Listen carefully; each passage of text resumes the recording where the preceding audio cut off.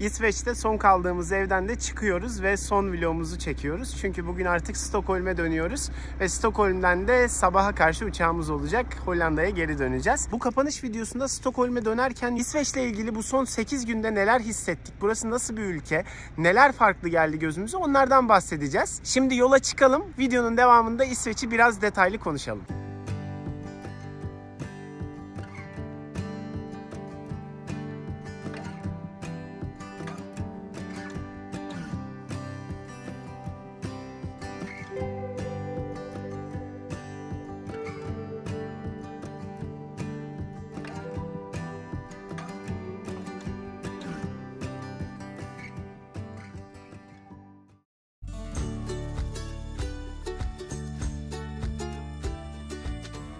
İlk başta ülkeye geldiğinizde bütün yollar böyle karla kaplı olduğu için aslında biraz ürkütücü geliyor. Çünkü biz çok karda araba sürmeye alışkın bir toplum değiliz.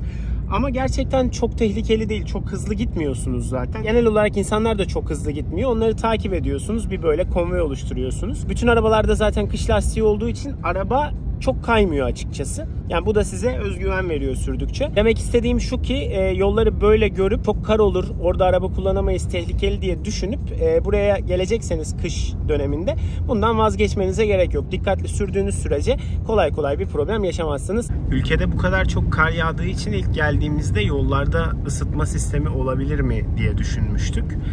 E, biraz araştırdık yani böyle bir şeye rastlamadık. Hiçbir yolda e, ısıtma yok anladığımız kadarıyla. Ama şöyle bir şey okuduk. Yolları 3'e ayırmışlar önem seviyelerine göre. İlk sıradaki yollar 2 saat sonra kar yağdığı andan itibaren direkt açılıyormuş. Yani 2 saat içinde oraya müdahale ediliyormuş. İkinci önem sırasındaki yollar 4 saat içinde açılıyormuş. En son önem sırasındaki yollar da 6 saat içerisinde açılıyormuş. Ee, çok nadir kar birikmiş yol gördük. Mesela dün sürerken biraz denk geldik. Ama o yollarda bile birkaç tane kar küreme aracına rastladık.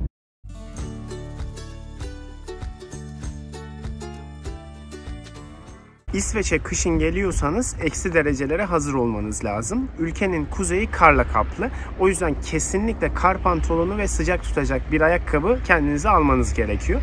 Aksi takdirde donarsınız. İyi bir eldivene de ihtiyacınız var bu ülkede kesinlikle. Yani sizi soğuktan koruyacak iyi ekipmanlarınız olmazsa üstünüzde giyecek kıyafet olarak gerçekten çok zorlanırsınız. Birçok yerde eksi onun altındaki dereceleri de gördük. O yüzden kışın bu ülkeye geliyorsanız tekrar diyorum kar pantolonu, iyi bir eldiven, iyi bir ayakkabı kesinlikle şart.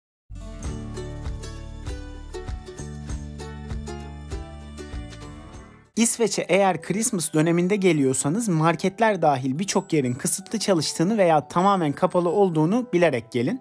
Çünkü Christmas İsveç'teki en önemli tatil günlerinden biri ve İsveçliler için çok önemli. O yüzden bu günlerde çok az dükkan açık oluyor çünkü kimse çalışmıyor. Özellikle 23 ve 26 Aralık arasındaki günler en sorunlu günler. Bu günlerden önce yemek stoğunuzun olduğuna emin olursanız iyi olur. Açık bir benzinlik veya bir fast food zinciri bulabiliyorsunuz ama onlar da o günlerde erken kapanabiliyor. O yüzden bunu mutlaka aklınızda bulundurun. Şu an saat tam 3. Bakın başka müşteriler geldi. Dükkan kapandı. Maalesef dışarıda kaldılar. Her yer kapalı. Muhtemelen Christmas olduğundan dolayı şu an etrafta hiç kimseyi görmüyoruz. Market aslında kapalı ama bu marketin uygulamasını indirirseniz ve o uygulamaya İsveç'te olan bir banka kartınızı tanımlayabilirseniz içeri girebiliyorsunuz kapıdaki QR kodu okutup. Aldığınızı da ödeyip çıkıyorsunuz içeriden. O şekilde kullanabiliyorsunuz. Biz maalesef indirmeyi denedik, yapamadık. Biraz önce baktığımız dükkana dönebiliriz ya da açık başka market arayacağız.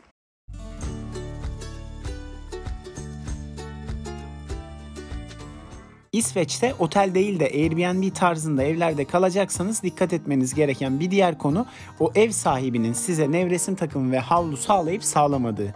Evet çok ilginç bir konu ama maalesef birçok kalacak yer nevresim takım ve havlunuzla gelmenizi bekliyor. Size nevresim takım ve havlu vermiyor.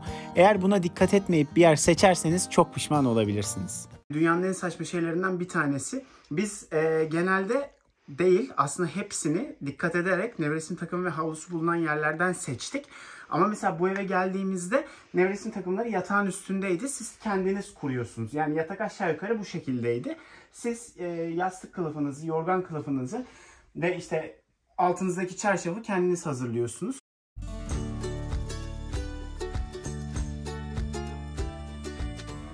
İsveç aslında pahalı bir ülke ama bir Batı Avrupa ülkesinden çok mu pahalı bizce değil. Biz mesela birçok yerde kiralayamayacağımız kadar ucuza araba kiraladık bu ülkede. 8 günlüğüne sadece 200 euro verdik. Ya da kalacak yerlerin ortalama fiyatı 150 euro civarındaydı ve buralarda hep 4 kişi kaldık. Şu an mesela açıp Roma'da, Paris'te kalacak yer bakarsanız bu fiyatlara çok zor bir yer bulabilirsiniz. Ama mesela marketler Hollanda ile kıyaslayınca bir tık daha pahalıydı ki Hollanda da Avrupa'daki en pahalı ülkelerden bir tanesi. Özet olarak şöyle söyleyebilirim. Eğer bütçeniz İtalya'yı, Fransa'yı, Hollanda'yı kaldırıyorsa İsveç'te kaldırır. İsveç çok pahalı diye düşünüp buraya plan yapmayı öteliyorsanız ortada bunu yapmanızı gerektirecek bir durum yok açıkçası.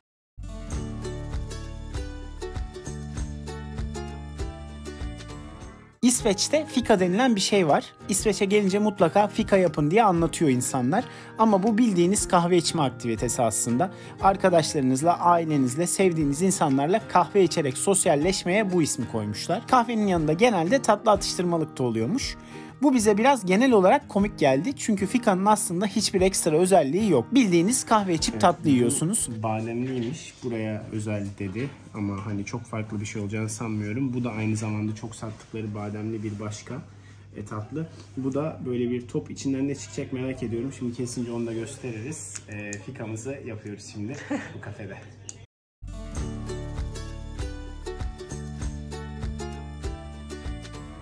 Bu ülkede yaşayan Sami adında bir etnik grup var ve bu insanların toplam nüfusları tüm yaşadıkları kuzey ülkelerini düşündüğümüzde 100 bin bile değil. Temel uğraşları ise rengeyi yetiştiriciliği. Ülkede gördüğünüz her rengeyi aslında evcil ve Sami insanlarına ait ve her kabile hangi rengeyi kendisini bilebilmek için rengeyiklerinin kulaklarına bir kesik şeklinde işaret koyuyormuş normal bir İsveçlinin rengeyi sahibi olması tamamıyla normal. Fakat rengeyiğine kendi evinin sınırları içerisinde bakması gerekiyormuş. Doğaya salma, onlara doğada bakma hakkı sadece Sami insanlarına verilmiş.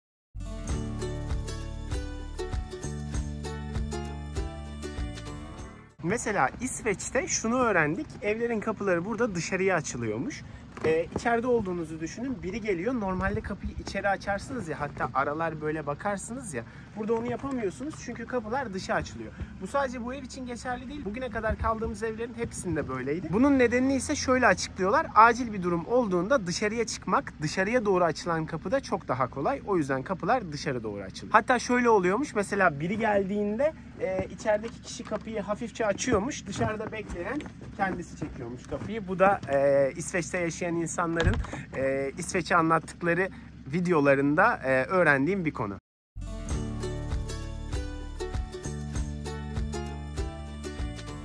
Eğer olur da bu ülkeye bir gün gelirseniz bu ülkenin büyük olduğunu bilin. O yüzden muhtemelen ülkenin belli bir bölümünü gezebileceksiniz ve ona göre plan yapın.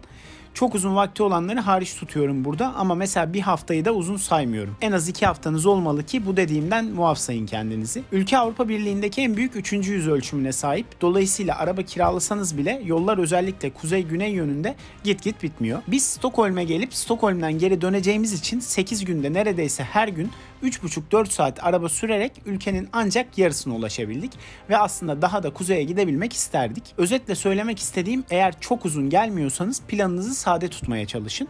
Yapmak istediğiniz 2-3 şey veya yer seçip ona odaklanın. Bence daha çok keyif alacaksınız. Bu ülke yazın da çok güzeldir muhtemelen ama kışın geliyorsanız da çok şanslısınız. Birbirinden güzel kış aktivitelerinin tadını çıkarmayı sakın unutmayın. Evet şu an salalım bakalım.